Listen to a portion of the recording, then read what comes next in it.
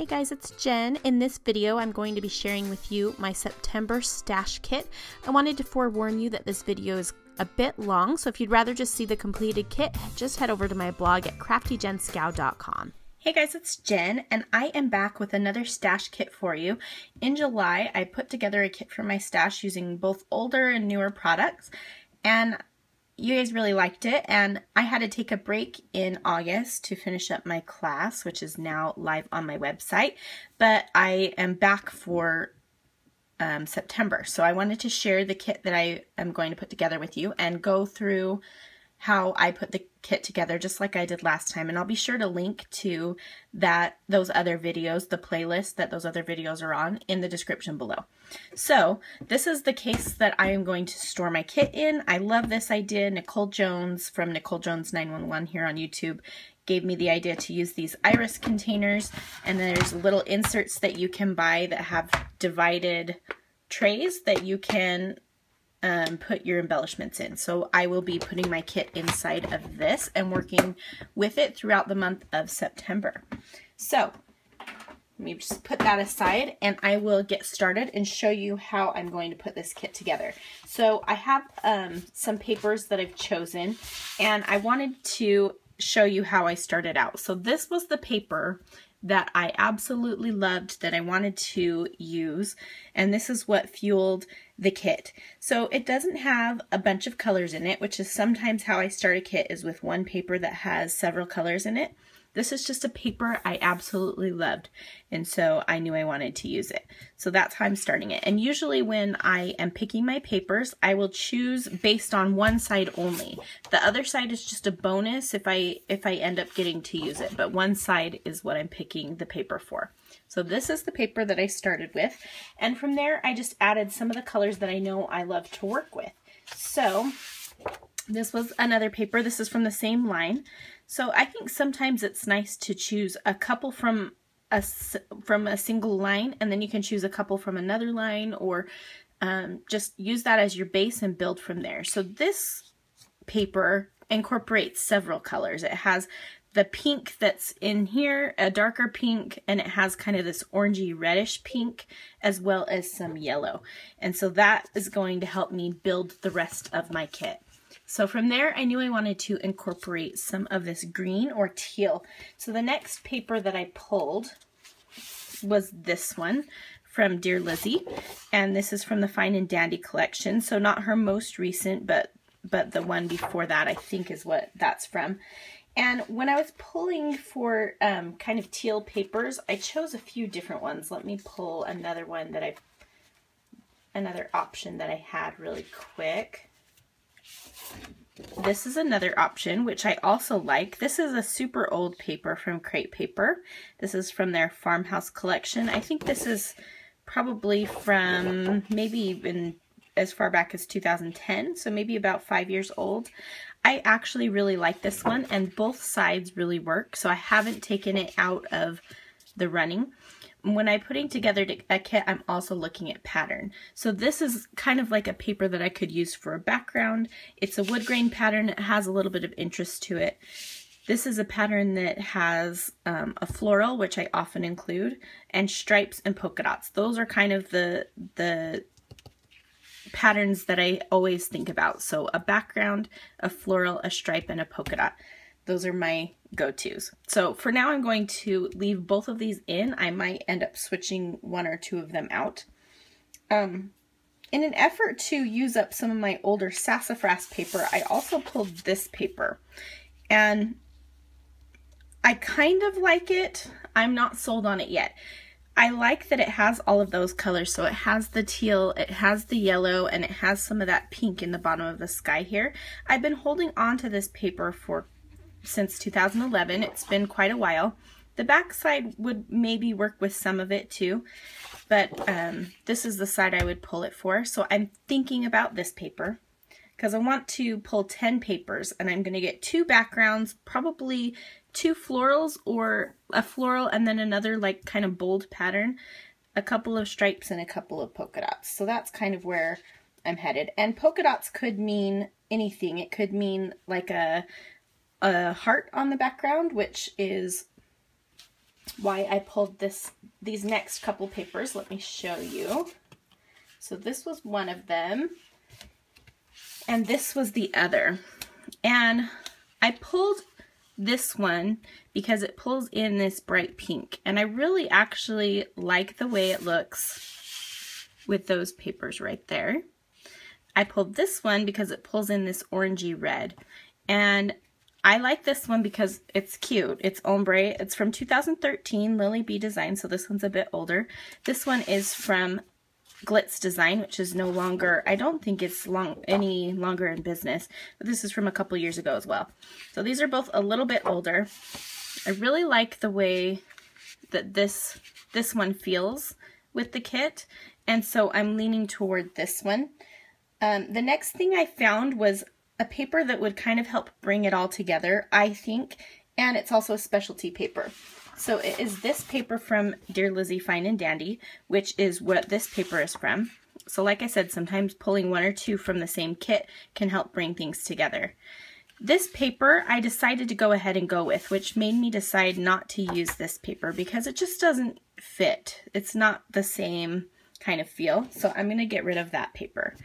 But when I put this paper in, I really like it. And it pulls in the red and it pulls in the pink. So I think this will help me bring everything together.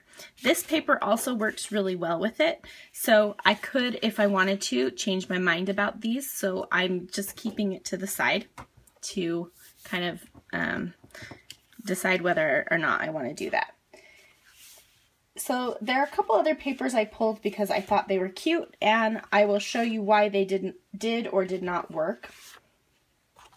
This paper I pulled because I know I specifically have some photos where we're riding canoes on a lake and this is a paper that I got recently, but it is from an older collection. Let's see, I'm trying to look at the date, 2013. So it's from Wanderlust Lust from Studio Calico, and I think it matches okay. It doesn't really fit the theme of the kit, but I think I could pull certain things together. The awesome thing about kits is you can get a variety of styles and looks on your layouts based on what you choose for a particular page. So I haven't ruled this one out. I kind of like it. The back doesn't really go for me because it clashes with this, but it could work on its own with other things. So I'm not ruling it out. And this would be one of those papers that's like the floral. It's a bold pattern and um, so I'm keeping that in mind. So I'm going to put it to the side for now, but it is on my radar. Another thing I often like to include is a text print. And I have two, and I haven't decided which one I want to go with yet. So there's this one, which is from the Pebbles Sunnyside collection, which is from 2012, so that's a little bit older. And I like the way that this one looks. It brings in a little bit of that creamy color, which is fine. And I know that the backs of some of these papers have that cream color going on.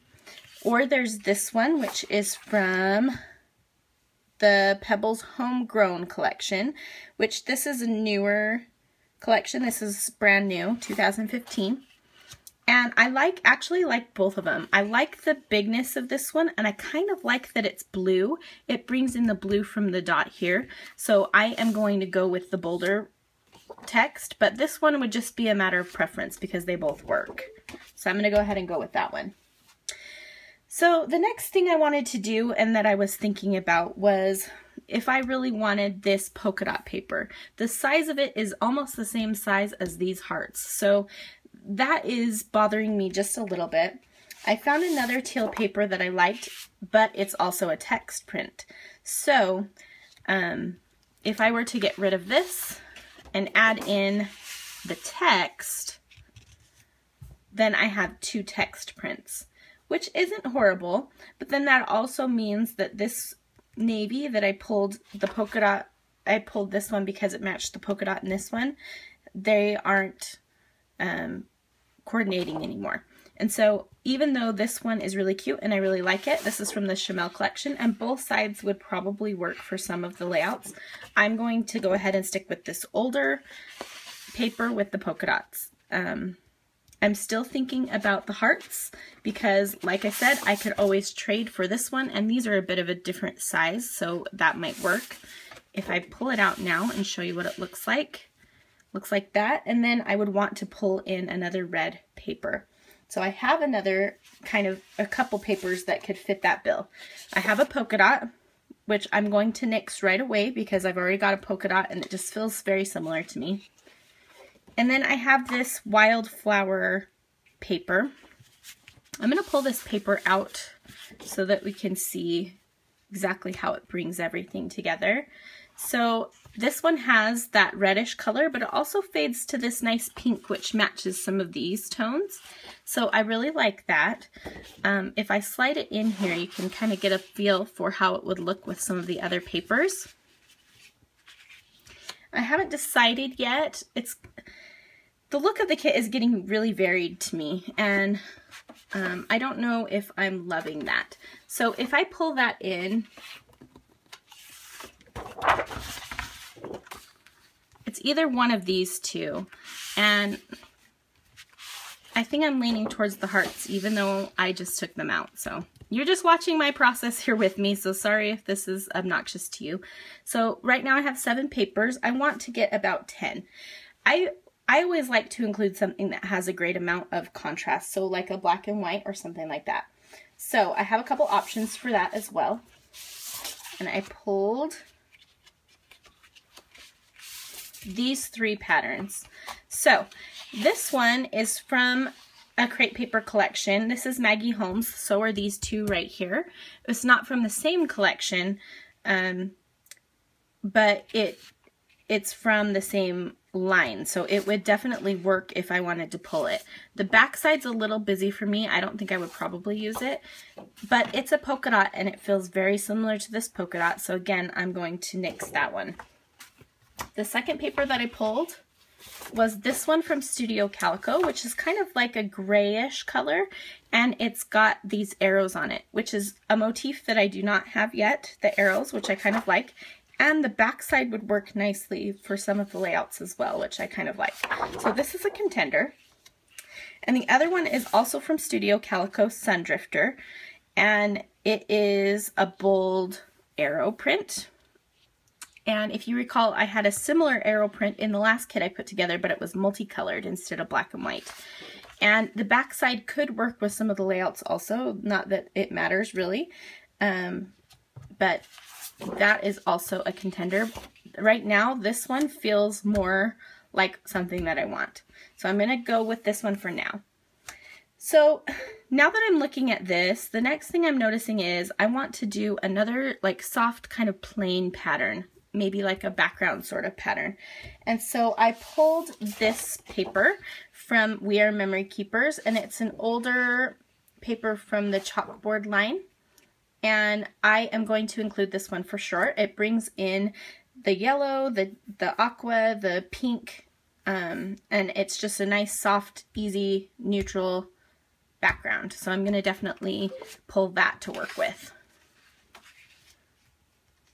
So you can see that this paper is a little bit more um, graphic and clean than some of the other papers that I've pulled, but I think I can work them together. I love the challenge of pulling different papers together, so I'm going to go ahead and, and still keep that.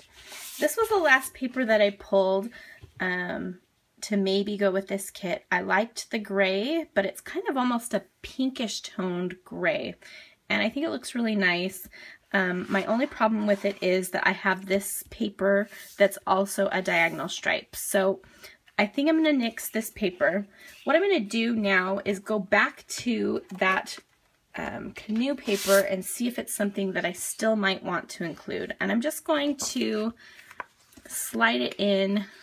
Let's see. I'm going to move these papers around. Sometimes it helps to move your papers around and put different things next to each other to kind of get a real feel for what you have going on. and I don't think I like it. So what I'm going to do is look for one more paper that maybe has a bit of this yellow in it and that maybe pulls a few more of the colors together. And then, so, so far I have nine papers. I want to include one more. So I'm going to look for that paper and then I'll come back and show you what I find. Okay, so let me show you what I found and why I decided on what I did. So I found three different papers. One of them is Crate Paper notes and things, which I have some Crate Paper already in here, so I know that that will probably work nicely. Um, this is from Lily Bee Design Sweet Shop. And then this one is from Crate Paper Craft Market. And all three of these have a bit of that yellow in them. Not too much, but a little bit. And I immediately thought I would choose this one because I really like that it has just a little bit of the other colors running through it. Um, this is a nice neutral. The back is easily usable as well, and I think it could work with any of these kits because it's a neutral as well. But it it feels like a diagonal stripe, and I don't want to get rid of this diagonal stripe, so I'm going to go ahead and nix this one. Um, the second one is this Lily Bee design print, and it just feels a little bit too cream for my taste. Even the creams that are in here, or the off-whites, are not super creamy like this one. And so I, I didn't like this one. Plus it had more hearts, and I didn't need more hearts. So what I decided to go with was the Crate Paper Craft Market paper. And I like that it has it is a polka dot, but it's a large one and it looks like confetti. And so I think it fits nicely into the color scheme. So I'm going to go ahead and go with that one. And the other thing that I decided on, even though this is a polka dot, and I've, I've been struggling with this polka dot and this, this heart print because they feel very similar. I decided to pull out this paper, which is from Fancy Pants Design. This is from 2011, but it's one of my favorite papers. I've used it before. Um, I have a couple sheets of it. I am going to pull out that farmhouse collection paper and slide in this one. And I feel like that really completes the kit. It really makes it feel um, cohesive and I just, I really like the way that it looks. So I've got a couple of papers that can work for backgrounds. I've got um, a bolder pattern and then I've got a cut apart sheet that also has some bold patterns in it. This polka dot is, it's a polka dot, but it's also a bold pattern.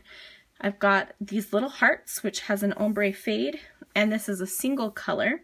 So I've got some multicolored things and some kind of single colored items. I've got some text. This is kind of a text, but since it's so large, I'm not calling it that. And then I've got some more geometric patterns. So I really like the way that this all feels together.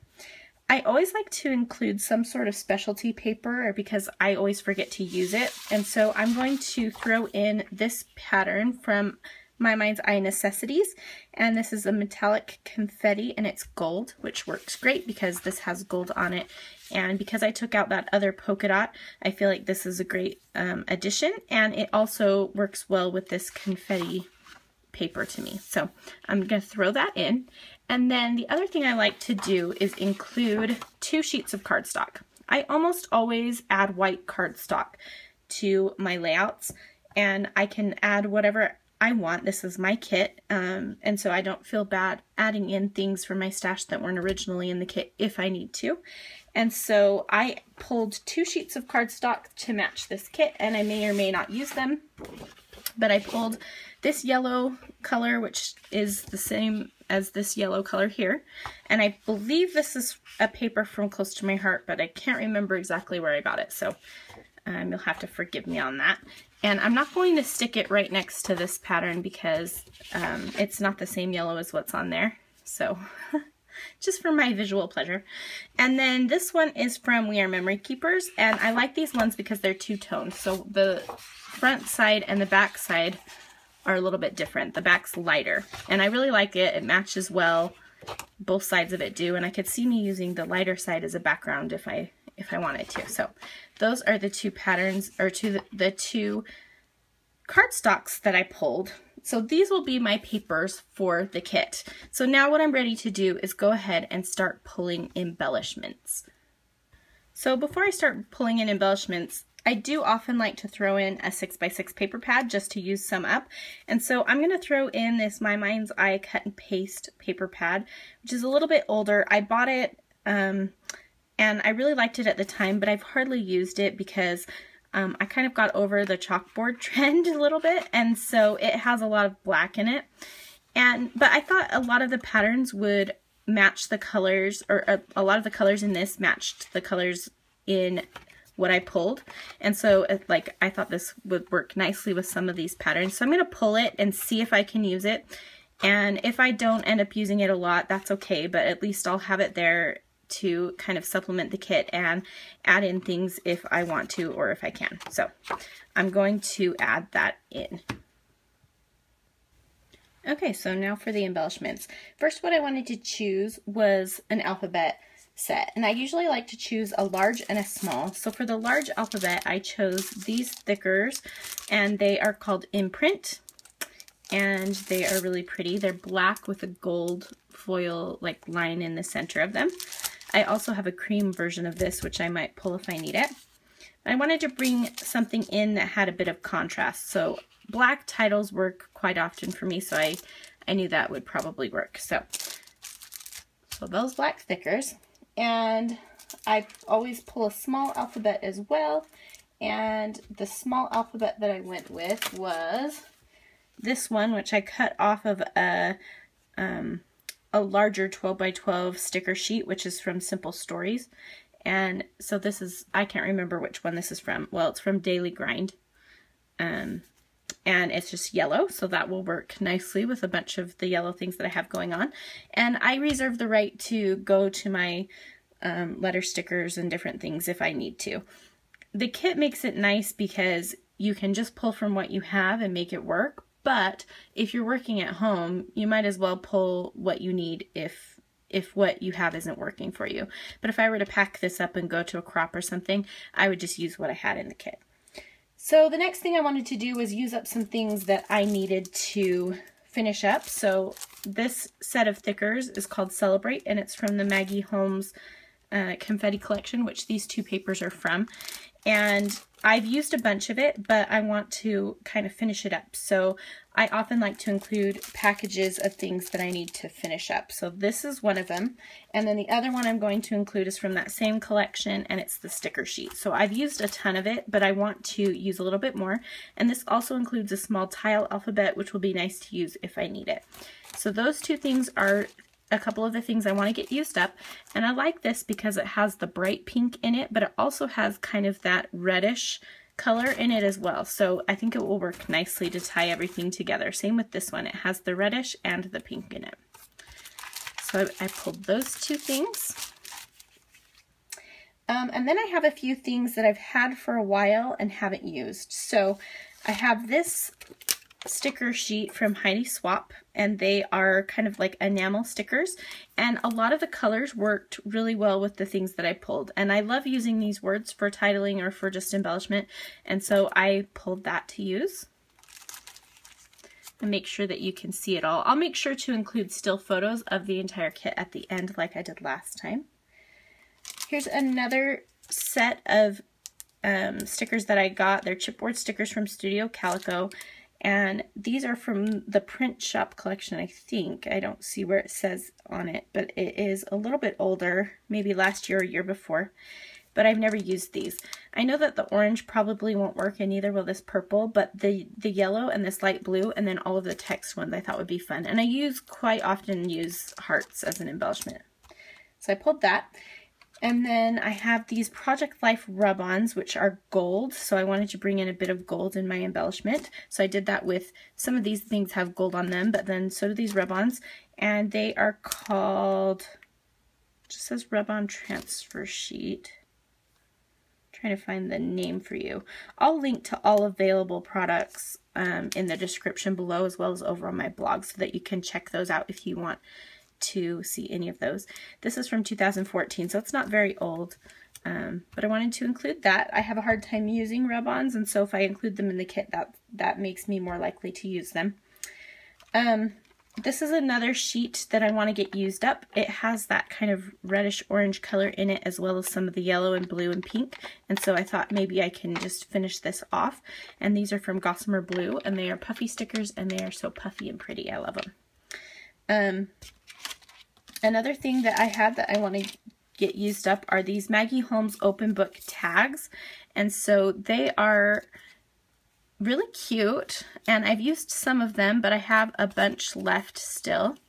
And so they have that pink in them as well as some gold and some aqua. So I'm throwing those in. And then I am also throwing in these wood pieces from Studio Calico. I don't know what set they're from. I've had them sitting in my wood veneer for quite a while. And they're just little words and they're really cute, but I haven't used them. So I'm just going to throw them in and see what I can get used up from them. So I'm throwing in a lot of things that I've had in my stash for a while and just haven't used, but I think they're still cute. And as well as things that I want to finish getting used up. So those are the kinds of things I'm using. And then I always do like to include something that's kind of new and exciting to me that I really want to work with. And so um, that would be some of these papers that are a little bit newer.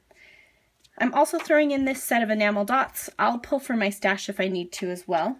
And then I do like to sometimes include a stamp set so that I can um, get those used. I love stamping on my layouts, but I often forget to um, include stamping. So this is from an, a Scraptastic kit. I used to belong to their kit club um, from quite a while back and I love this stamp set. It has um, like a brushy thing, X's, polka dots, pictures plus stories, and then these cute little words that are absolutely adorable. So I'm throwing that in there.